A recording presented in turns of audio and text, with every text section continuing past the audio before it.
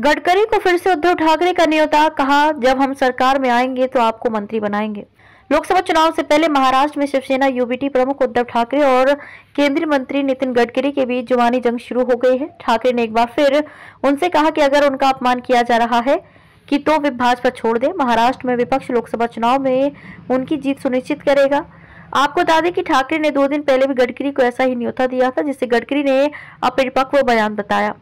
पलटवार करते हुए उन्होंने कहा कि ठाकरे को इस बात की चिंता करने की ज़रूरत नहीं है कि भाजपा किसे टिकट दे रही है या नहीं। ठाकरे ने गडकरी को दिया मंत्री पद का न्योता। ठाकरे ने मंगलवार को पूर्वी महाराष्ट्र के यवतमाल ज़िले के पुषाद में एक रैली को संबोधित किया। इस दौरान उन्होंने कहा कि पूर्व कांग्रेसी नेता कृपा शंकर सिंह जैसे लोग जिस पर भाजपा ने कथित रूप से भ्रष्टाचार के आरोप लगाए, हालाँकि अब उनको प्रधानमंत्री नरेंद्र मोदी के साथ उम्मीदवारों की पहली सूची में शामिल किया गया, लेकिन इस सूची से गडकरी का नाम गायब था। मैंने दो दिन पहले ही गडकरी से कहा था और दोबारा कह रहा हूँ कि अगर आपका अपमान हो रहा है तो आप भाजपा छोड़ दें और महाविकास अघाड़ी में शामिल हो जाएँ। मैं सुनिश्चित करता हूँ कि महाविकास अघाड़ी आपकी जीत सुनिश्चित करेगा।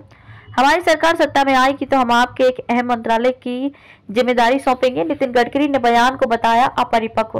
दो दिन पहले ठाकरे द्वारा दिए गए न्योते को गडकरी ने हास्यास्पद बताते हुए ठुकरा दिया।